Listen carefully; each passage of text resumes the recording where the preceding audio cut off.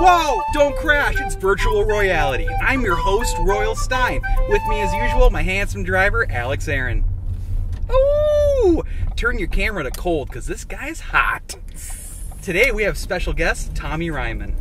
Hi. Oh, wow! Before we get into any kind of talking, let's talk about the weather.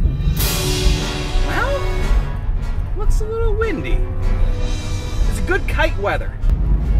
But it's also freezing cold, so don't go outside and play with the kite unless the kite has a coat. Maybe a scarf. Do scarves? Can scarves fly kites? You know what? You focus on driving and keeping us alive. Leave the thinking to me. Oh, did you buy a lottery ticket the other day? What do you think the forecast on that is? You gonna win? I think it's the Powerball. You know what I'm gonna say? I'm gonna say there's a high chance of winning Powerballs this evening for everybody who bought one. That's what I think. Oh, and the sun's here. Okay, back to Tommy Ryman. the school with the guy who lives in the woods. Yeah. We should do one.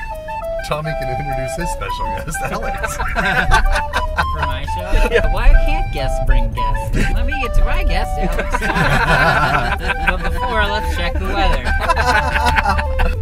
Okay, there's a cloud coming in, and it looks like he just brought a friend too, which is just weird.